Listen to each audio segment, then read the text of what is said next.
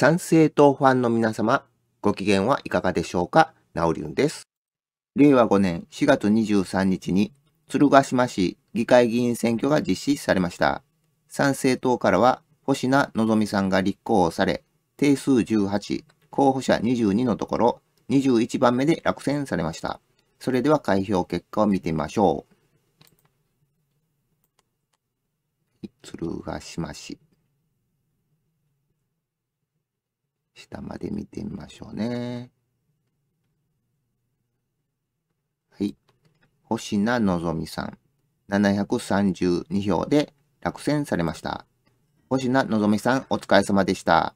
ではまたね。バイバイ。